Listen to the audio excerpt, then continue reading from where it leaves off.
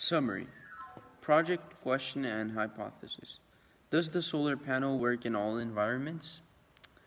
If we measure the light in a closed or indoor environment, then the amount of light will not be enough to power a solar panel.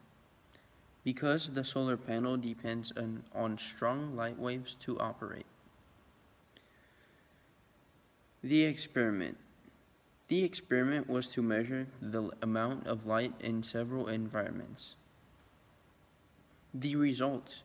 The results were uh, the results were that solar panels exhibited best performance in a sunny outdoor environment.